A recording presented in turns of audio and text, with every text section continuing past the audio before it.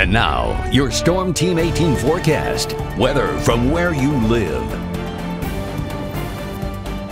Well, I had some tomatoes and peppers just barely surviving after the frost yesterday, and this morning they were burned a little bit more, but they're just barely hanging on. Well, tonight's going to be the night that those will likely be completely burned away and the growing season will be completely over as we drop down to 27 for a low. Frosty conditions, wind becoming light to calm with a clear sky.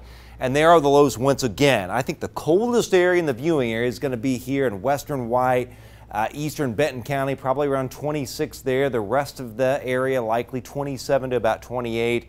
Warmest in our northeastern counties with a little bit more wind. So 30 at Winamac, 30 Rochester, and about 30 at Peru. Now tomorrow, after a lot of sunshine in the morning, uh, once again, some clouds developing in the afternoon. These will be a mix of these kind of cumulus clouds like we saw today and some high thin cirrus clouds coming in from the west. So that sun dimming, fading a little bit, 48 for the high, a northwest wind developing, and highs 46 to 51, very similar to what we had today. And fairly similar highs on Thursday with skies partly cloudy. But a cold one, frosty 26 on Thursday morning and a high of 49 during the afternoon, 49 Lafayette, but 52 down to Petersburg and about 47 at Logansport. And finally on Friday, I had to show this graphic because this is the warmer air coming in. Another frosty morning, but notice the wind turning to the southeast mostly sunny and a high up to 53 and we're going to get up 50 to 56 for the viewing area. How about mid 50s from Petersburg to Fowler and Remington and low 50s at Flora and Delphi. Here's Futurecast. Again, uh, a lot of mostly clear skies tonight, and then tomorrow some clouds bubbling up and some also high clouds coming in from the west, so we'll call it a partly cloudy day. Partly cloudy for part of tomorrow night, but then it becomes clear late, so the temperature tanks mid 20s to around 30. Thursday, again, a partly cloudy day around.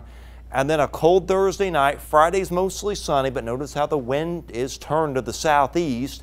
Partly cloudy on Saturday, warmer still, the wind turning to the south. And finally, it really warms up Sunday and into Monday. Strong southwest winds. The warm front will be moving northward up around this area.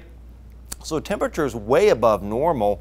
A couple of showers late Tuesday and Wednesday, but the main time frame for solid rainfall will be this. This could be uh, severe weather actually from Iowa down to Oklahoma. This could be a squall line of severe storms, and we may get the leftovers of that at the end of next week with potential of an isolated severe storm or two, depending on just how unstable that we do get. But the new blog post is up right now. I'm about to put a link to that blog post on Facebook right as we speak, and you can check that out on our Storm Team 18 weather app and also WLFI.com. Normal high mid 50s.